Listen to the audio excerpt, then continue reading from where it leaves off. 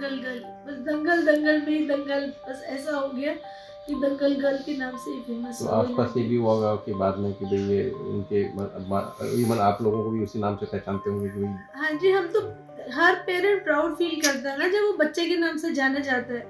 हमारी क्या आइडेंटिटी थी है हम लोग अपनी लाइन में जी रहे हैं जो भी है बट हमें जो रिकॉग्निशन मिला वो तो सुहानी की वजह से मिला कि दंगल गर्ल के पेरेंट्स हैं। जहाँ जाना उसकी रिकॉग्निशन होने की दंगल गर्ल आ रही है दंगल गर्ल आ रही तो हम तो ऑब्वियसली हर पेरेंट प्राउड फील करेगा ना जब उसके बच्चे को ऐसा नाम मिलेगा तो। अभी क्या बॉलीवुड से किसी का फ़ोन आया आप लोगों के पास घटना नहीं पहले आमिर सर का तो बहुत हमारे टच में रहे हैं। आमिर सर ऐसी बात नहीं इज़ ए नाइस पर्सन वो हमेशा इसके साथ टच में रहे हैं। अभी बीमारी के बाद भी पता वो में- अभी हमने उनको बताया नहीं था अभी क्योंकि हम लोग खुद ही इतने ज़्यादा परेशान चल रहे थे तो हमने किसी को इन्फॉर्म नहीं किया।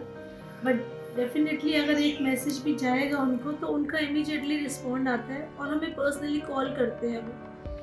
तो वो सुहानी के साथ बॉन्डेड रहे हैं शुरू से उन्होंने कभी ऐसा नहीं छोड़ा। अभी उनकी डॉटर की भी मैरिज हुई है। हमें इनवाइट आया था प्रॉपर फ़ोन भी आए थे कि आपको आना है अटेंड करना। है तो उससे परेशान तो हम जा नहीं पाए थे। At that time she was having fracture हुआ था इसको। तो अभी फ्रैक्चर रिमूव ही हुआ था तो हमें अभी ट्रैवल करना नहीं था।